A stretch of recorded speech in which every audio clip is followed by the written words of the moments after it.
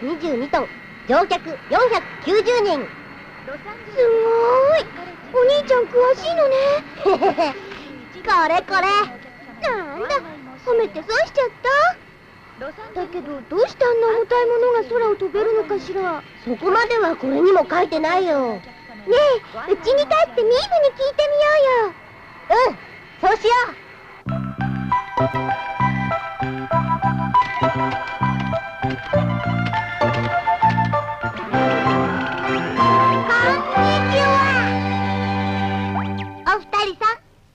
は何を知りたいのかな？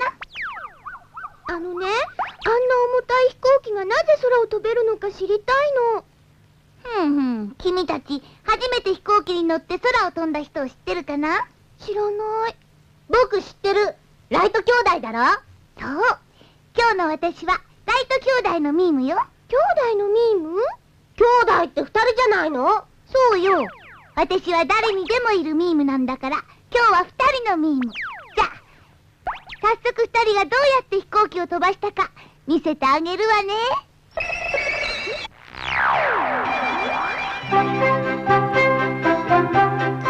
空をかける兄弟。これがライト兄弟よ。お兄さんのウィルバー。そしてこっちが四つ違いの弟オービル。二人は小さい時から仲の良い兄弟で遊ぶ時も仕事をする時もいつも一緒だったの。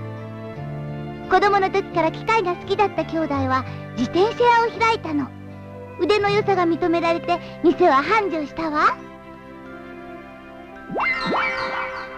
いらっしゃいませ。ここが作業するところなの。はいウィルバー。やあミーム。あれオービルはどこ行っちゃったの？オービルはうちで寝てるよ大変な病気にかかってしまったんだよ。弟のオービルはチェフスにかかってるんですって。どう？具合は？うん。だいぶ良くなったよ。だけど医者はあと2ヶ月はおとなしくしてろだって。はあ2ヶ月もこうやってるんじゃ退屈で死んでしまいそうだよ。そんな贅沢言うもんじゃないの当時はねチフスにかかるとまず助からなかったの。オービルは運が良かったのよ。新聞はまだ来てないのかな？ミームちょっと見てきてくれよ。はいはい。来てたわよ。やあありがとう。あ？どうしたの？オットー・リリエンタールが死んだ。はあ？このリリエンタールという人は鳥の飛び方を研究して当時としては一番優れたグライダーを作っていた人なの。2000回も実験飛行をして時には数百フィートを超える飛行距離を記録したこともあったわ。最後の実験飛行の時も新しい工夫を試していて墜落してしまったの。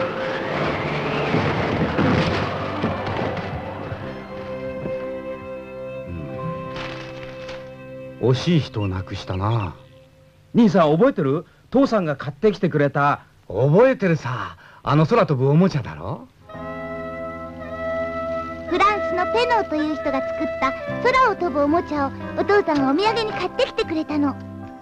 木と紙とゴムでできたこんなものがどうして飛ぶのか二人には不思議でしょうがなかったわ。お兄ちゃん今度は僕にやらせてね。うん。ほら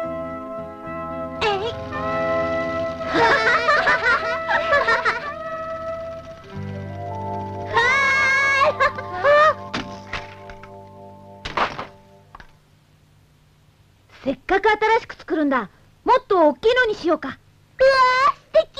私が乗れるようなのね。ミームが乗れるような大きさ？もっと大きくしたら人間が乗れるかもね。へえそんなことができてすごいな。わー。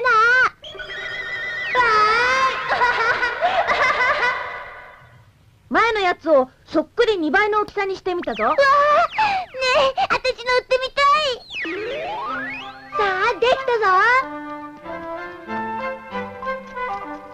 はいお兄ちゃん早く飛ばしてみようよ。さあ飛ばすぞ。それ。あれ？うん。おかしいな。前のと全く同じなのにな。どうしたのかな。もう一回やってみようよ。二人ともまだ小さかったので、大きくしたら、ゴムの力をうんと強くしなければいけないことに気がつかなかったの。みんなはわかってる？重さが2倍になると8倍の力が必要なんだって。兄さん僕たちもグライダーを作ってみたいな。やるか。うんやろう。よしお前の体が良くなるまで勉強することにしよそれから二人とも飛行機の本を読んで勉強を始めたのよ。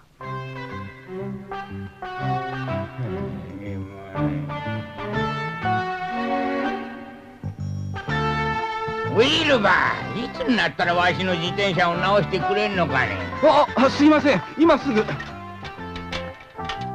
あ？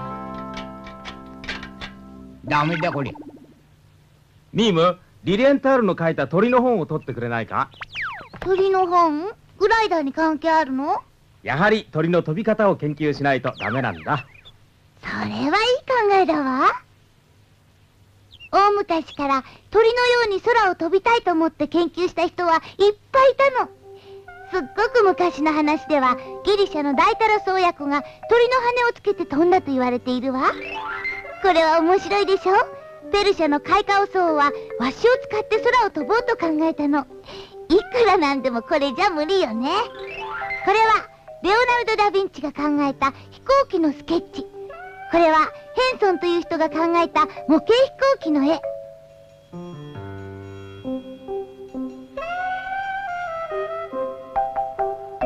面白い形でしょ？遊園地のジャングルジムとそっくり。これは日本の二宮中八という人のものよ。さて、我がライト兄弟はどうしてるかな？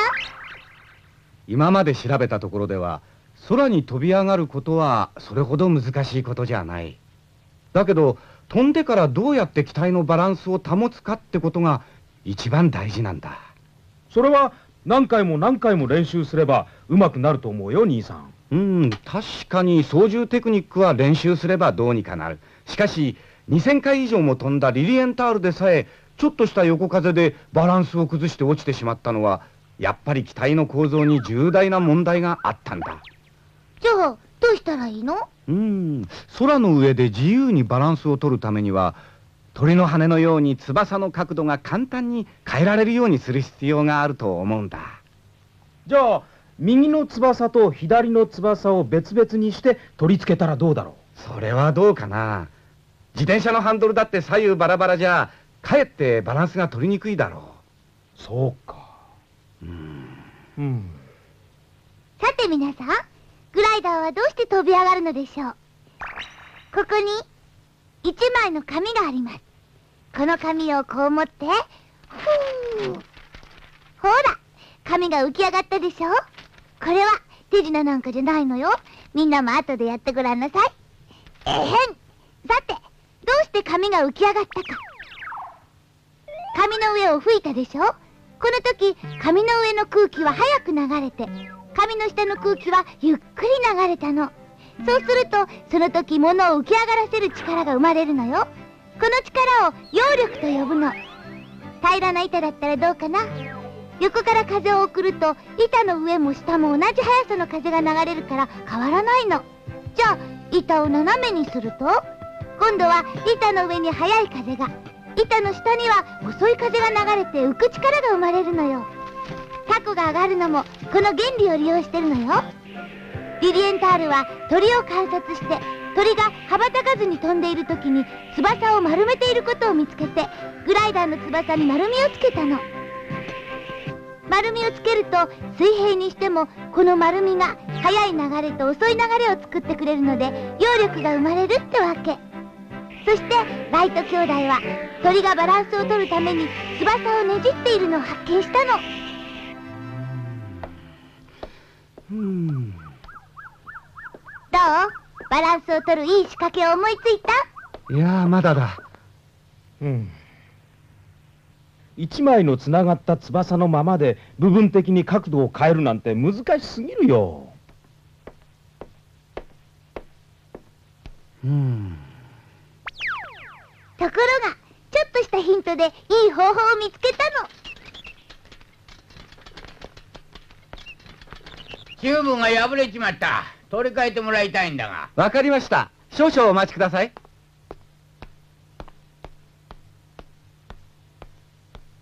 えっとうん。おおああ。これだ。こうすればいいんだこうすればいいんだ。おいウィルバーわしのチューブはどうしたんだ？おい。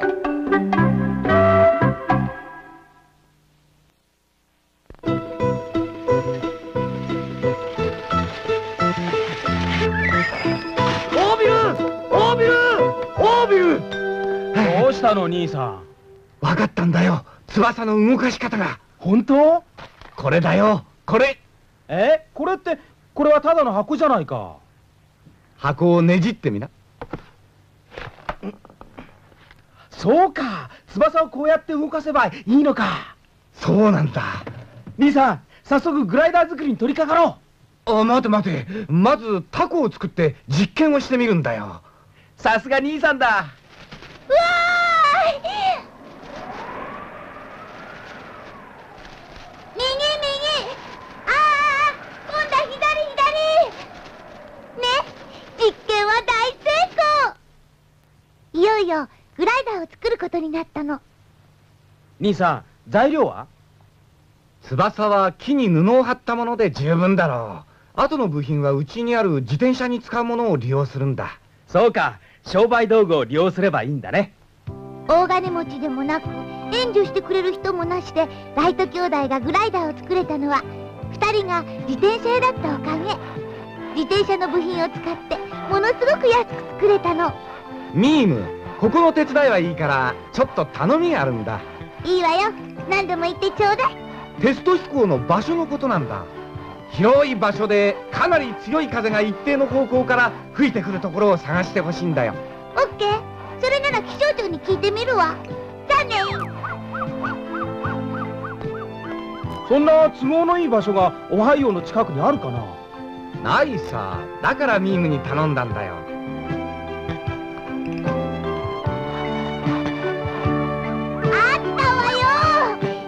10メートルぐらいの風が吹いているところが。あったか。どこだそこは？キティホークってとこ。大西洋岸の砂丘地帯。そこのヒルデビルヒル。ここなら10メートルぐらいの風がいつも吹いてるの。どっちが先に乗る？どうする？私が決めてあげるこれで決めましょう。オービルは？裏。じゃあウィルバーは？表だ。行くわよ。それ表だ。よーし僕からだ。ん？行くぞ。オービル頑張って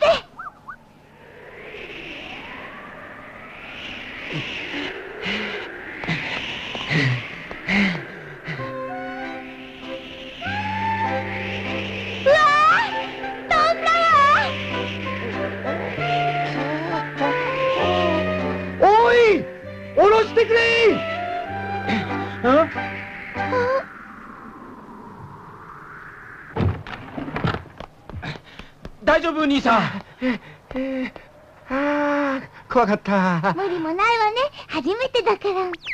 実際には地上から2.4メートルの高さしかなかったんだけど。や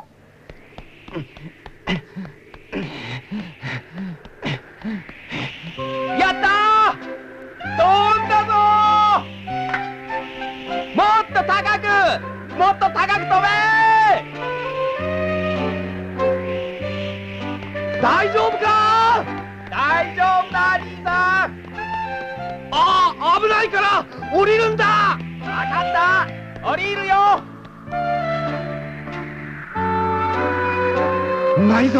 オービル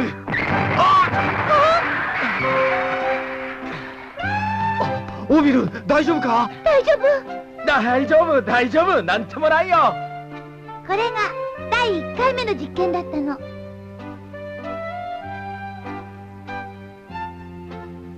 そして翌年2号機を作ってテスト飛行。飛行距離118メートル。安定感がなくライト兄弟は不満だったの。ああダメだダメだ。この分じゃ千年かかっても空を飛ぶことなんてできないよ。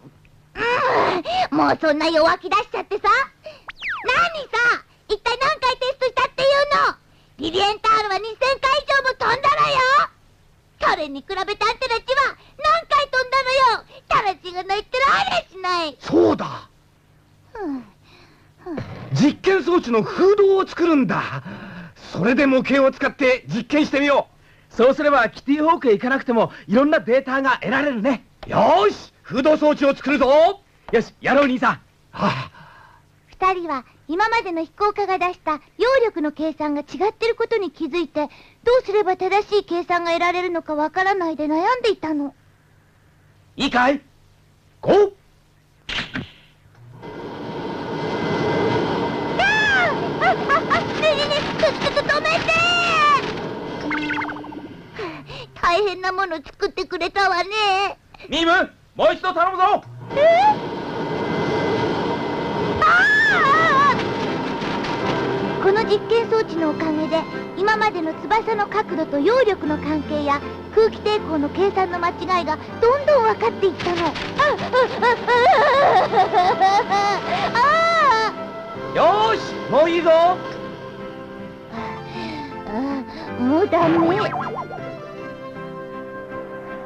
実験データで改良した3号グライダーでライト兄弟は大空を思い通りに旋回できるようになったの。もちろん滞空時間も距離も機体の大きさも全て新記録よ。そしていよいよ動力をつけることになったの。自分の力で飛べなければ飛行機とは呼べないものね。出力はどう低く見ても8馬力は必要だな。それに重さは 91kg 以下じゃないと無理だよ。こんな特殊なエンジンを作ってくれるところがあるかな？あ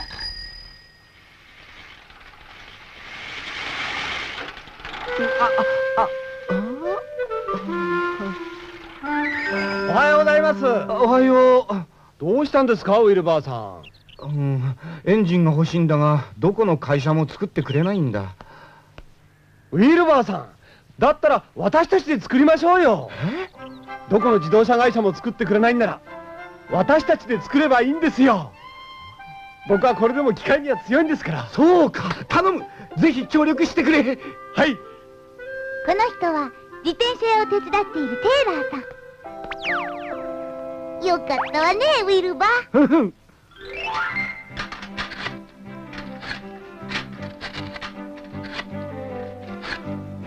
あっちはエンジンを作ってるんだけどオービルは何を作ろうとしてるの？プロペラだよ。プロペラ？あああのエンジンの力でこのプロペラを回して飛行機を飛ばすんだ。そうか。みんなプロペラが回るとどうして飛行機が進むかわかる？プロペラが回るとプロペラの前の空気の流れが速くなり後ろの空気の圧力が高くなって後ろから前方へ押す力が生まれるの。これを推力っていうの。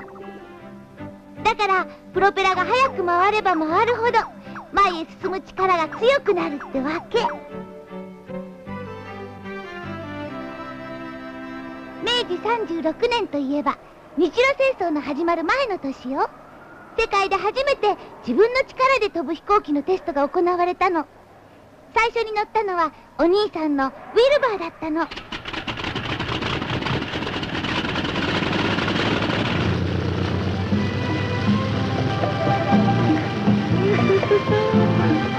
っとやっと飛んだぞわーい飛んだ飛んだ！1回目の滞空時間12秒。飛行距離37メートルらもっと長く飛ぶもんだと思ってたに。ちょっとがっかりだな。そんなことないわよ。だって世界で初めて自分の力で飛んだのよ。風の力を借りずに自分の力で。兄弟はその日4回テストをやったの。4回目は滞空時間59秒。距離260メートルだったわ。レオナルド・ダ・ヴィンチがスケッチを描いてから400年後やっとライト兄弟のフライヤー1号機が空を飛ぶことに成功したの。そしてその後次々と後に続く人が出てわずか100年も経たない今大勢の人を乗せた飛行機が世界中を飛ぶようになったわ。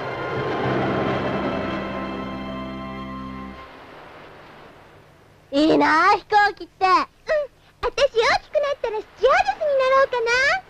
僕はなんてったってパイロットだな。私たちが大きくなったらどんな飛行機ができてるかな？そりゃビトールさ。ビトール？垂直離着陸機のことさ。長い滑走路がいらないしまっすぐ上に飛び上がるから騒音が狭い範囲にしか届かないんだよ。ふーんヘリコプターみたいにどこにでもいられるのね。うん。じゃあ修学旅行なんかの時は飛行機が迎えに来てくれるのね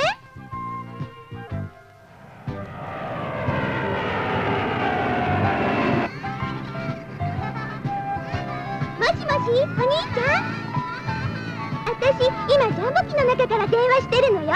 お前いいな。絶対代わりにお土産買ってこいよ。いいか？わかったわよ。じゃあね。そうなったら楽しいな。あ楽しいな